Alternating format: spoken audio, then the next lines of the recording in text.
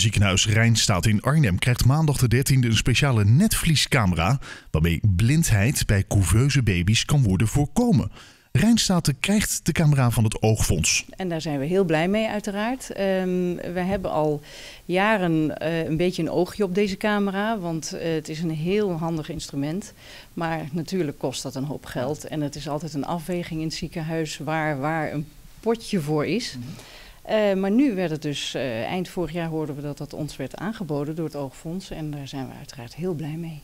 Zeer vroeggeboren baby's lopen risico op premature retinopathie. Afgekort heet dat ROP.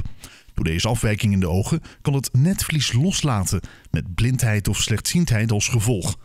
Tijdige diagnose en behandeling voorkomt blindheid bij 90% van de kinderen.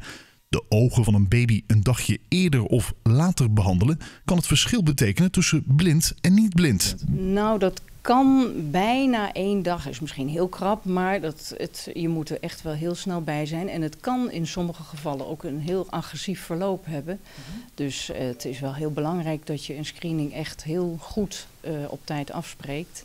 En, en het is ook heel belangrijk dat je kunt overleggen met een universitair medisch centrum om eventuele behandelingen op korte termijn af te spreken. Het oogonderzoek kan het beste worden gedaan met een netvliescamera. Maar deze camera's zijn erg duur en weinig ziekenhuizen hebben er een. Vervoer van de baby's naar andere locaties in het land is natuurlijk erg belastend voor hun hart en longen. En daarom streeft het Oogfonds naar meer camera's op meer locaties. Nou, eigenlijk wel. Zeker in de grotere ziekenhuizen, zoals Rijnstaten is. Uh, we hebben hier een uitgebreide afdeling waar veel couveuse baby's liggen. Wij kijken ook heel regelmatig naar deze kinderen. En dat is op met, met je gewone onderzoek wel uh, behoorlijk goed te doen.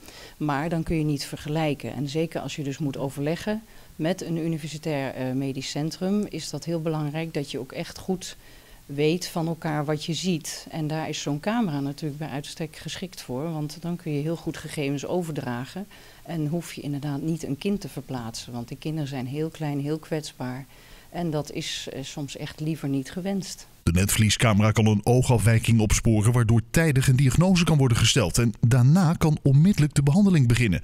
Op deze manier kan blindheid dus in 90% van de gevallen worden voorkomen. Dat is ook heel veel. Het is inderdaad iets wat je preventief doet. Uh, die, die retinopathie, zoals we dat noemen, die komt uh, niet heel veel voor. Maar als het er is, dan moet je daar dus wel op tijd bij zijn. Je werkt preventief.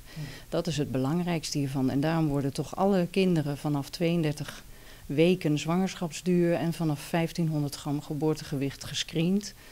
En een deel daarvan uh, kun je dus op tijd behandelen en daarmee de blindheid voorkomen.